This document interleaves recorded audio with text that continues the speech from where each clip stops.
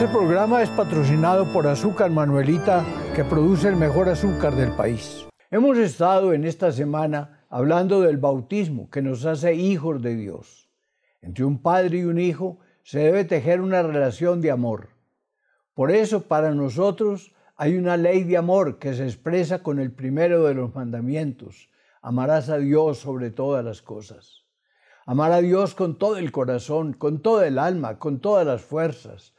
Tener esa obligación como tatuada en el corazón, en la frente, en los labios, como si fuera un mensaje inolvidable. De ahí se desprenden las demás manifestaciones del amor a la familia, al prójimo, a la naturaleza, a nosotros mismos pero nunca olvidemos amar a Dios nuestro Padre que nos espera en el cielo. Dios mío, en tus manos colocamos este día que ya pasó y la noche que llega.